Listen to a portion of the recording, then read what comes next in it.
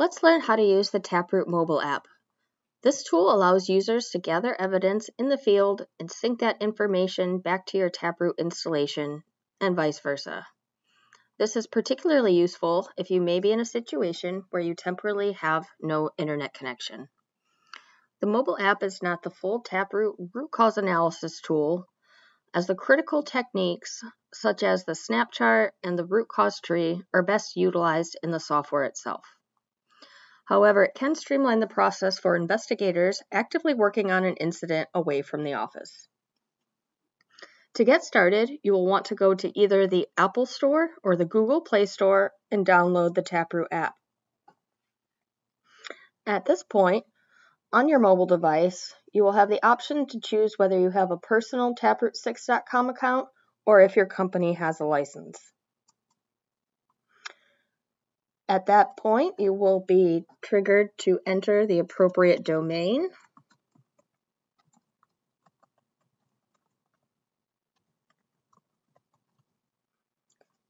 And once that's entered, you'll click continue and be prompted to enter the appropriate username and password. These would be the same credentials that you used for the Taproot installation at the office.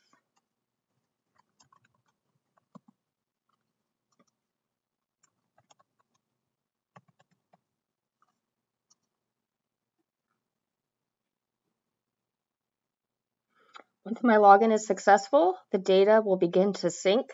This will include any investigation information that is available for checkout, and it also recognizes your location list hierarchy, your classifications, and any custom fields or custom tab information that you have configured in your software. Before we look at any existing investigations that we can edit, let's begin with a new one. So down at the bottom, I can add a new event, whether it be just an incident, an incident and investigation, or an audit. I'll click the appropriate one, say OK. And here I can say, for example, arc, flash, and burn. The same required fields here. I would select the appropriate date and then the location.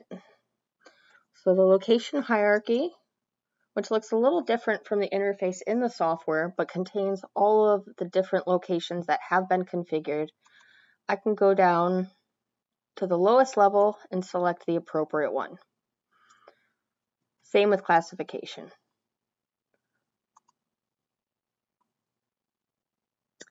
Optional fields, as I mentioned, can be entered. Otherwise, you'll save and you'll now see the arc flash and burn incident recorded in my mobile app. The icons here indicate the status of where the investigation resides. Currently, you can see this is just my mobile device. I have not synced it to my office computer yet. And then again, these existing ones, I would be able to check out and make edits and additions to that as well.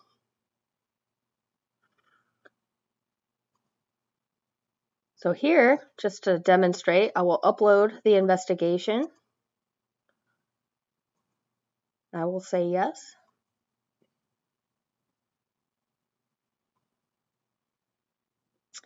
It was successful.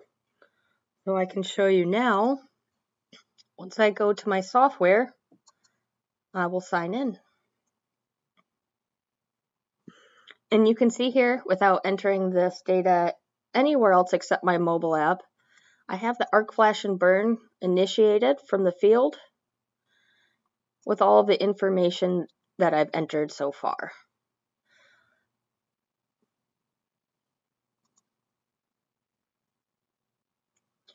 Going back to the mobile app,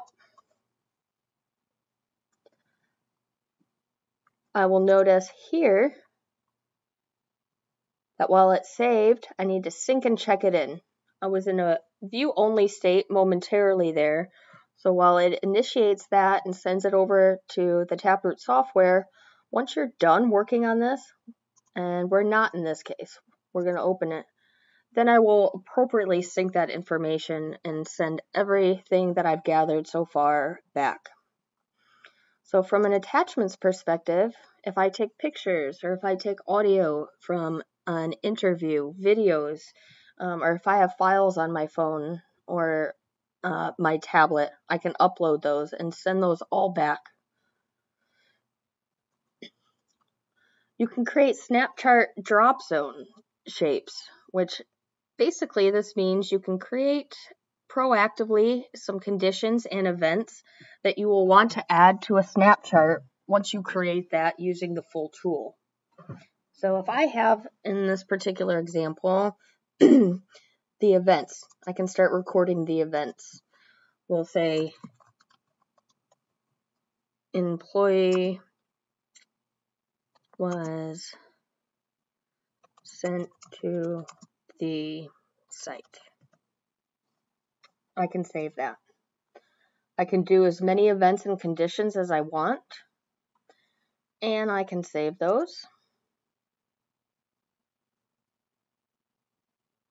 Including any attachments or supporting evidence that I may have found. So we'll say that I'm leaving the field, going back to the office tomorrow. I'll click on this icon here. I'll say sync and check it in. So if I sync and check in the event, it will validate. And it says it was successful. And you'll notice the icon changed from showing that it was on my mobile device to being available for download. So let's take a look back at the software.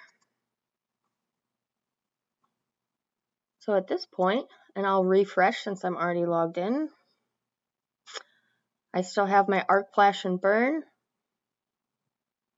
with all of the details. And when I launch the snap chart,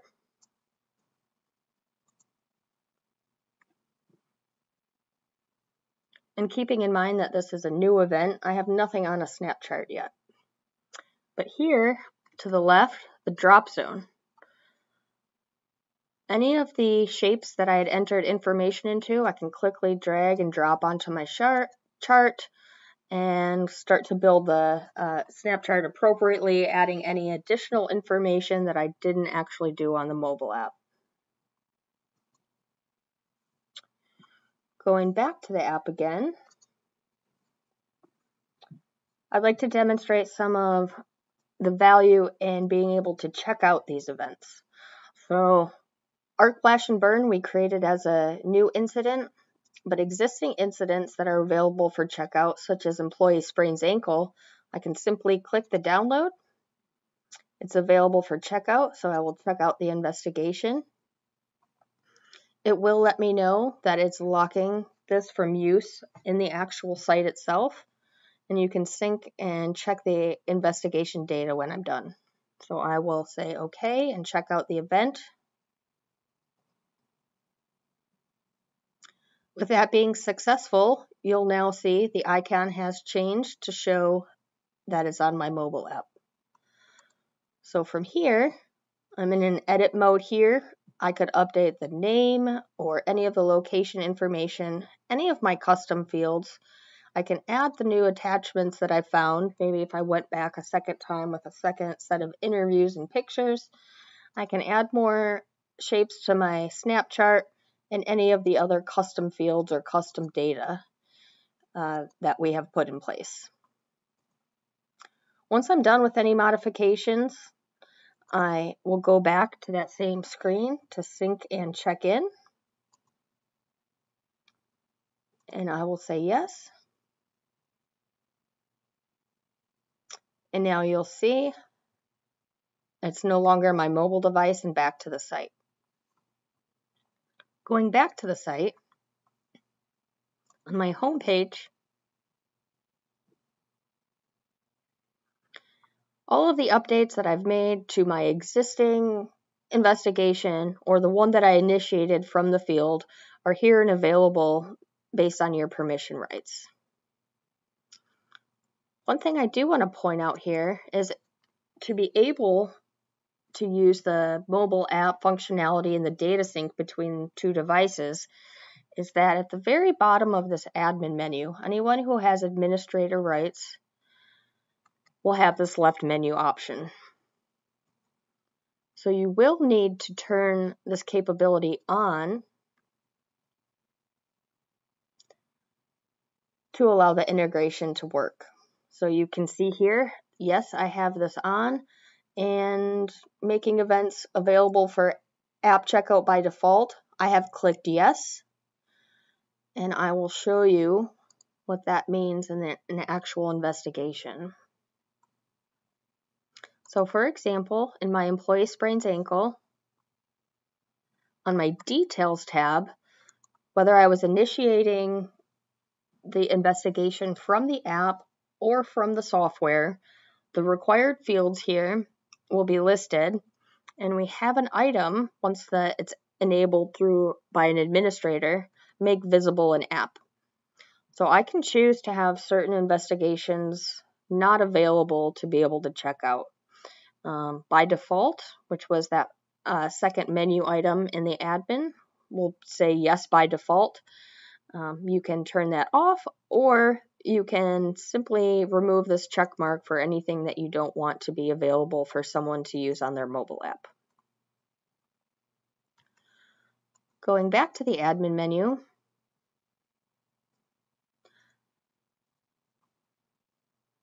and I will scroll down to the Taproot app.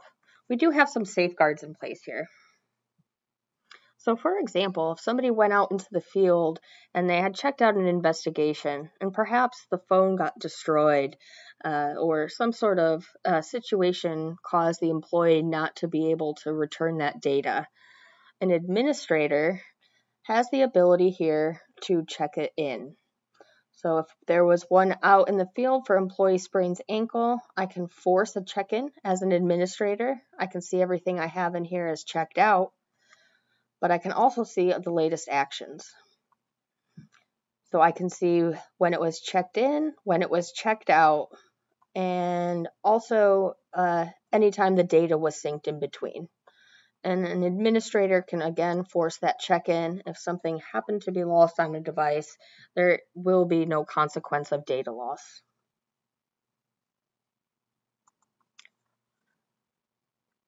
Going back to the app, I will just point out again in the upper menu here, the work offline option, that will be critical in understanding if, uh, particularly for checked out events, one that already exists, you'll want to check that out before you go into an area that you don't have internet connection. Uh, so it will recognize that it's capturing all the data on your device, and then you can safely check that back in once you have an internet connection. If you have any questions or comments, please feel free to reach out to support at taproot.com.